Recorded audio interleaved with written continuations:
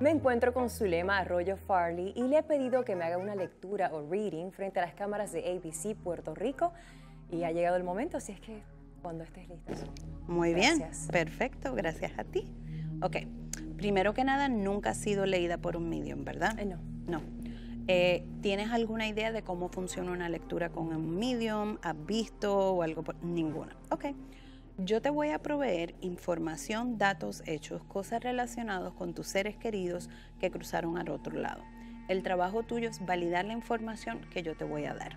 Esta validación que tú das, esta información, es la manera de tus seres queridos dejarte saber que están presentes, que están contigo, que te están guiando en la vida, que están al pendiente tuyo.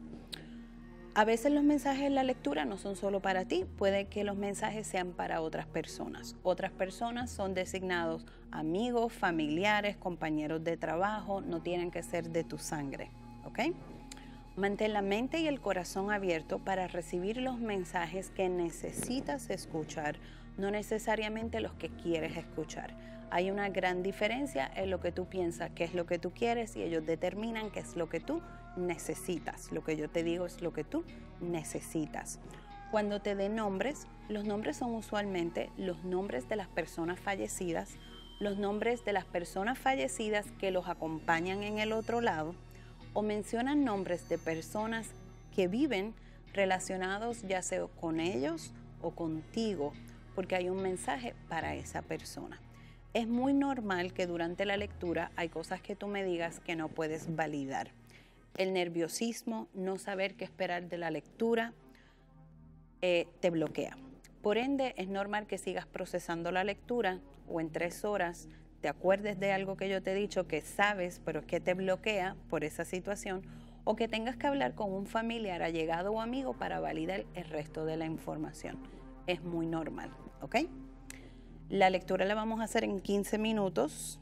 Así que voy a ser muy corta, no es una experiencia como una lectura normal que tengo una hora. Así que te voy a dar las cosas más específicas y las que me lleguen. Eh, no puedo leerte si tienes tres, cuatro personas, no puedo leerte tres o cuatro. Vamos a tener que enfocarnos solamente en una de las personas, pero ya tengo a alguien aquí. Lo único que necesito de tu parte es que me des el primer nombre que te dieron al nacer. No necesito los apellidos. Cintia Enid. Cintia, ¿ok? Esto que hago es mi manera de meditar y desconectarme aquí con este plano y enfocarme en lo que me están dando, escuchando, viendo. ¿okay?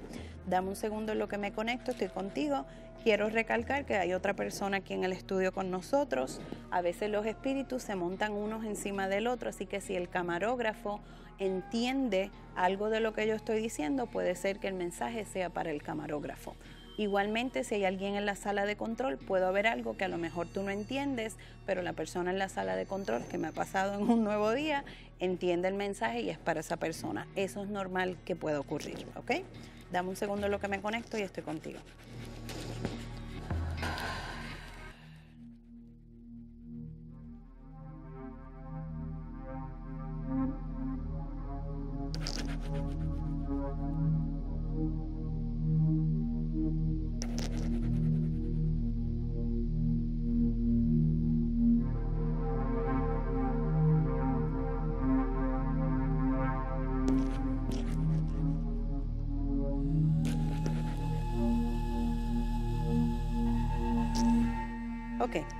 Eh, la tengo dos personas, tengo una mujer y un hombre, pero el hombre es que lleva desde hace tiempo que te sentaste, me está diciendo figura de padre, padre.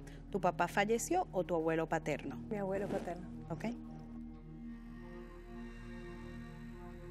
La letra J, primer nombre, nombre del medio apellido. ¿Quién es con la J? Nadie se llama José, escuché José. Primer nombre, nombre y apellido con la J. Ok. Eh, esta persona, abuelo paterno, me está hablando del corazón, pecho, manera en cómo falleció, ataque cardíaco respiratorio, ¿ok? Eh, pero tuvo, una tuvo mucha presencia en tu vida, me está diciendo. O sea, siento más que él tuvo realmente como fue tu padre más que tu papá. Es lo que me dice, ¿ok? Y este sentido de culpa que tú estás cargando, que no pudiste estar presente o que no hiciste lo que debiste de hacer por él o pasar el tiempo que necesitabas, que no lo vistes, él te quiere liberar como de esa carga y esa culpa, pero es específicamente tuya. ¿Tú tienes otro hermano y hermana? ¿Son tres en total? somos dos. Ok. Murió uno. Por eso es, ¿ok? Porque me dice que son tres. Ok. Pero él me está dando un apodo para ti que no estoy entendiendo. Pero él no te llamaba Cintia por tu nombre, él te decía otra cosa. Beba, nena, escucho beba, nena. O alguien es beba o nena. Ok. Me da el número 11. Primer nombre, eh, primer nombre. Número 11, fecha significativa. Cumpleaños, aniversario, fecha de muerte. Favorito. ¡Ay, qué bien! ok, y por el otro lado, ok, esta señora, porque ella es una señora, ella es tu abuela. ¿Ok? Y ella me dice que parte de tu personalidad, de cómo tú eres, viene de este lado, que viene por la parte de ella. Me da la letra A, me hace una A bien grande. Primer nombre, nombre del medio apellido por la A. ¿Cómo? Margarita. No, letra A. América. ¿Quién es América? Mi bisabuela. Ah. ok. Ok. Eh, una de las cosas más grandes mensajes que me quieren que yo te comunique es que dejes de dudar si estás en el lugar preciso, en el momento correcto. Es como que has tenido inestabilidad en tu vida, moviéndote de un lado a otro, pero finalmente este es tu hogar, es lo que estoy escuchando. Eh, este problema del pie me está diciendo que esto, eh, tú vas a seguir teniendo un poco más de problema con esto. Me dicen que tú tienes que transportarte a ver otro médico después de este o es este mismo médico que vas a tener que volver. Aunque te estás sintiendo que está mejor, que se está sanando, me están diciendo como que hay algo que no pudieron extraer en su totalidad de esto. No sé a qué se refiere, tú lo puedes entender. ¿Ok? Eh, ¿Y te ha chequeado el sistema nervioso? Eh, no. Ok, me están hablando que te chequees del sistema nervioso. No sé si esto que te ocurrió en el pie te puede afectar de alguna manera el sistema nervioso, pero me enseñan que debes de chequearte el sistema nervioso. Eh, ¿Tu papá vive? Sí. Muy bien. El mensaje es para tu, para tu papá también en estos momentos me está diciendo que le valides a él que todo lo que ha hecho ha estado correcto Sí. después de la muerte de él. Sí.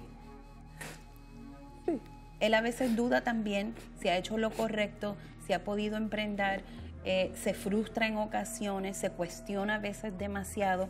Él ha hecho todo lo correcto y él es como que el alma de la fiesta, parte de todo, pero él se encarga de todo el mundo. Él quiere que él se dedique un poco más de tiempo para él mismo porque no lo toma, él se encarga por todos los demás. Y siguen unidos tu mamá y él Sí. porque me hace así, ¿ok? Sí. Muy bien, muy contento con esta unión, me hace un corazón muy grande, que hay una unión muy, muy buena, una buena comunicación entre ellos. Eh, ok, y él me está llevando a la foto familiar, me habla de la foto familiar de la última celebración, pero es algo como una celebración tuya y tu abuelo estaba allí, o tu papá o tu familia. Están todos bien vestidos, me está Sí. diciendo. Y esa foto la, la tienes en tu casa colgada en una pared. La tengo en un álbum. No, esa foto la tienes que colgar en una pared, es lo que me está diciendo y es una celebración muy grande. Tú eres estás vestida como de blanco o de color claro. Ok. Sí. ¿Te acuerdas de esa Sí. foto? Sí. Ok. ¿Sabes lo que te Sí, estoy sí, sí, hablando? sé cuál no es, tengas miedo. Sí, sí, no sé cuál es. Es, Ok. es con, Pues- era mi Puerto Rico. Ah, ok. Pues saca esa foto y la tienes, y la tienes que poner. Eh, mes de noviembre, vuelve ahora. El 11 es noviembre. Algo muy grande va a pasar en tu vida ahora en este mes de noviembre. Un cambio significativo para mejoría tuya. Hogar. ¿Estás en proceso de comprar la casa o comprar el apartamento? Algo de eso. Ok. No te preocupes que va a ocurrir. Ok. No tienes por qué preocuparte. Eh, pero es que me enseñan tú como yendo como en gira por distintos lugares, o no sé qué te quieres ir en gira, o tienes pautado ir a distintos lugares. Porque él te acompaña en esto. Sí. Eh, ¿Y a ti te paniquean los aviones? Porque él me dice que te asustan los aviones. Estoy un poquito cansada de, tanta, de tanta vuelta y sí, un poquito. Últimamente, no, antes no me pasaba. Lo que veo más que te asusta cuando me refiero no es que le tengas temor a montarle, es más como si te crearas ansiedad cuando te montas en un avión porque no estás en control. Te gusta siempre estar en control de todo, me está diciendo. Y a veces tiene que denegar ese control. Y no has podido todavía encontrar tu pareja, me está diciendo. Ok. Mm. Me da la R, primer nombre, nombre del medio apellido. ¿Alguien se llama Raúl o Ramón R? Sí, no, no viene nadie a la mente creo que estoy nerviosa y no puedo pensar. Ajá. Eva, no te preocupes que vas a poder validar todo. Me da el número 7 ahora. Es mi segundo número favorito. ¿Ok? Eh, me está diciendo que está con tu tía. ¿Hay una tía tuya que está enferma o acaba de fallecer? Sí. Ok. Tienen que tener precaución con ella. Está muy frágil, tu tía. Cada ser. Se fueron casi juntos. Wow. Ok, pero contrario a él, él no estaba listo para irse, ella ya estaba cansada, desesperada. O sea, ya ya no podía más manejar su situación, su enfermedad, es lo que estoy viendo. ¿Quién fue que murió de cáncer? Porque me dijeron la palabra cáncer. La mejor amiga de mi mamá. Ok. Wilda o William. W. Se llama. No me tienes que decir el nombre, primer nombre, nombre, el medio apellido. ¿Y sabes si eres relacionado con el seno? Me están llevando el seno. Muy importante para nosotros. Ella está contigo también. Ok. Y me está haciendo un arco iris bien grande. Y me dice que uno de los símbolos de comunicación con él es cuando veas el arco iris, es él. Me lleva a un lugar de una playa. ¿Él vive cerca de la playa o iba en una playa? Eh, o vive cerca. de la playa. El arco iris. Tu, tu tía, relacionada con tu mamá, preocupada por tu mamá. Sí. Muy preocupada por tu mamá. Ella muy preocupada por ella, por la muerte de ella. Sí. Le tienes que decir que ella está bien, que ella no tiene que preocuparse, que ella es la que se tiene que preocupar por ella misma. Gracias por haberla cuidado y haber estado al pendiente de ella, me dice. Porque ella fue, eh, ¿cómo se dice? Como un tronco para, para, ella durante este proceso, porque no le fue fácil. ¿Me quiere hablar de sus hijos? ¿Tenía hijos esta persona sí. específicamente? El mensaje para los hijos de que se acuerden que siempre tienen que hacer el bien, me está diciendo. Como si ella era una persona de bien y siempre trató de educarlos haciéndole lo correcto, pero le inculcaba específicamente y me habla de un varón. ¿Tiene un varón? Su hijo. Ok. ¿Preferido? Sí. ok. Sí, tuvo con ella de la Todo está bien. Está bien vestida, le dices. Que ella sigue igual de bonita como ella era, bien arreglada. O sea, de punta en blanco para que sepa que está bien para que su hijo sepa. Eh, la propiedad, me está hablando de la propiedad de ella o algo que pasó con la propiedad luego de la muerte o hay un problema con la propiedad donde ella vivía, hay algún tipo de discordia entre ellos. Esto es un poco sensitivo, es lo que me está diciendo. Hay un dinero de por medio, me está hablando también cuando me hace así, ¿ok? Y me está haciendo para ti así. Mi significado de abundancia financiera, te va a llegar un dinero próximamente que no lo estás esperando, me dice luego del próximo mes.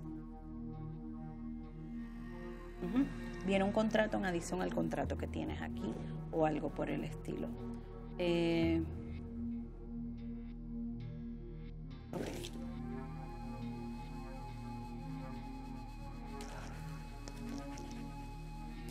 Tu abuelo me dice número 333.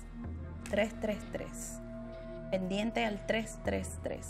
Símbolo del número de ángel y tu ángel es el arcángel Miguel, me está diciendo. Sí el arcángel Miguel 333. Cuando veas los números 3, la secuencia de los 3, cuando veas eh, ya sea en la radio que el canal pueda ser el 333 o en tu reloj que sea las 333, ese es el símbolo de ellos. ¿okay? Eh, vamos a ver qué más.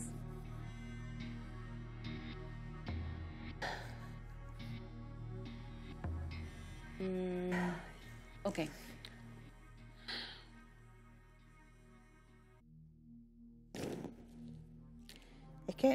Tengo una persona y no me está diciendo quién es, pero como si tuviera dolor de cabeza, Alzheimer o algo le pasó a la cabeza de la persona. Tengo eh, y una persona joven, joven menos de 60 años, pero no lo veo como familiar tuyo, algún compañero, amigo, algo por el estilo.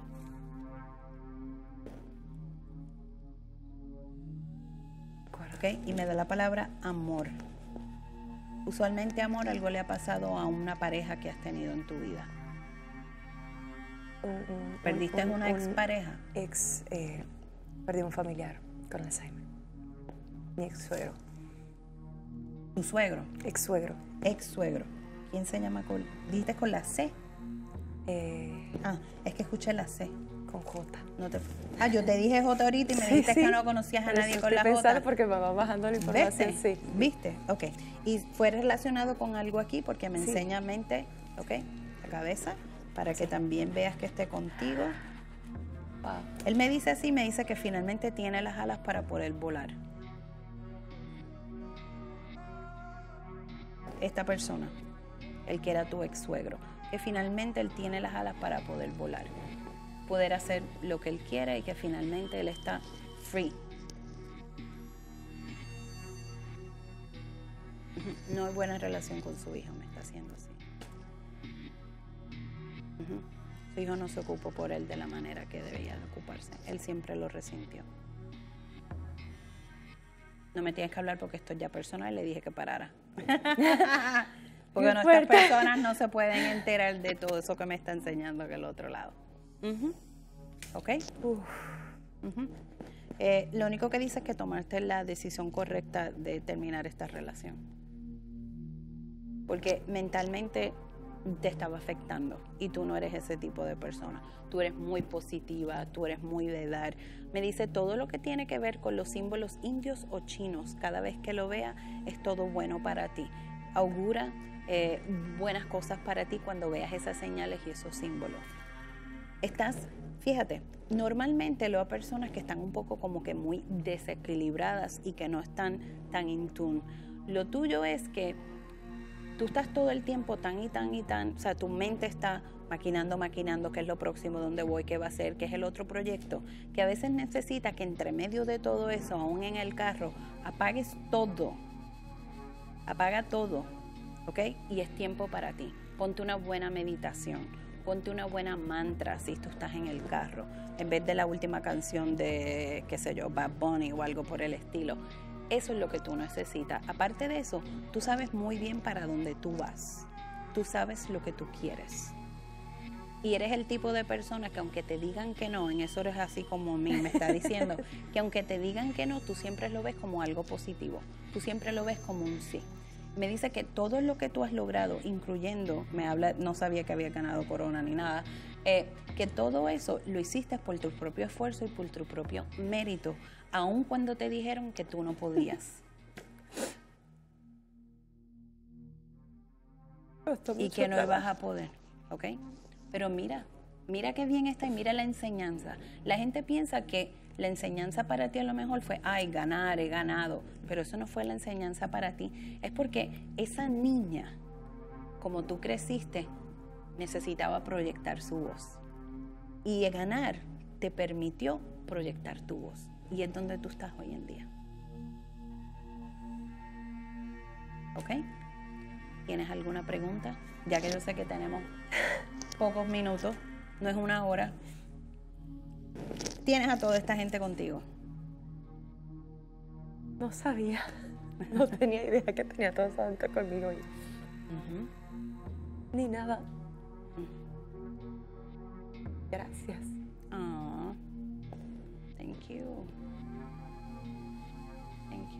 Validar muchas cosas. Yep. Thank you. You'll be fine. Don't worry. You just have to trust your instincts.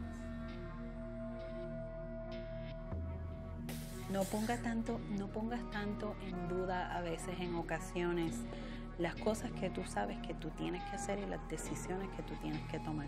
Eso incluye sacar a veces gente de tu vida que no debe de estar en tu vida. Se te hace difícil tomar esa decisión. Don't overthink it. O sea, no lo pienses dos veces. en el futuro te vas a dar cuenta el propósito que esa persona sirvió en tu vida y el hecho de que estás mejor no estando en tu vida. Tu abuelo me está haciendo así con los dientes. Me está enseñando sus dientes. Tenía caja de dientes y no se la pusieron. Se la pusimos para que me hace así. se viera bien. Sí, se, la pusimos. se viera bonito en su... Ajá. en su ataúd es lo que te refieres, sí. Porque me hace así la caja de dientes. Sí, se la pusimos ese día. Él fue muy especial contigo. Tu conexión con él es muy tremenda. Ajá. Pero él me dice, yo no soy así como tú la ves a ella, yo soy bien humilde, yo soy un señor de campo. Sí, sí, sí. Él, es otra persona, un ser maravilloso. Ajá. Y se lo voy a decir a mi papá porque realmente no ha podido ser mejor hijo. ¿Viste? Y creo que siempre puedo escuchar eso. El mensaje que le dio, ¿verdad? Que tu papá, que gracias, ¿verdad? Y que no sienta tanta culpa que a lo mejor no pudo hacer o tú también lo suficiente que deberían porque sí. Él me dice que con él esto era algo que era inevitable, su muerte era inevitable. Nadie podía salvarlo. Me dice que falta de responsabilidad de su parte también porque él no acudió al médico cuando debía. Él no se, exacto, él no se vio cuando debería, entonces él básicamente fue el propulsor de su propia muerte para no hacerlo. Y los médicos no podían hacer nada. Además que dice, eso de hospitales, eso no iba conmigo. no. Me dice, eso de hospitales, eso no iba conmigo, yo no soy esa persona. Y que te estén tocando y otro te esté bañando. no quería. eso no quería. Me dice, yo no era de eso. So, para que veas que él estaba muy tranquilo porque todo eso le incomodaba tanto que él pues se está riendo, está, está mejor en el otro lado que aquí. Ajá. Ay, dame un abrazo. Cuídate mucho. Ay, Dios, Zulema, qué fuerte, ¿no? Pero quiero decir a la gente que, que nos está eh, eh, viendo que obviamente pues nunca había pasado por algo así y que se siente bien, se siente saber. Estabas temblando cuando empezamos y ahora estás tranquila. No sabía y de verdad que que, gracias por hacer esto mucho más fácil y también por, validar, que yo creo que es lo más importante, sobre todo cuando no ha tenido pérdida. Así es. Vas a poder validar las letras. Te voy a dejar que le saques una foto para que tú veas. Sé que sí, lo sé. voy a quedar con eso pensando mucho rato.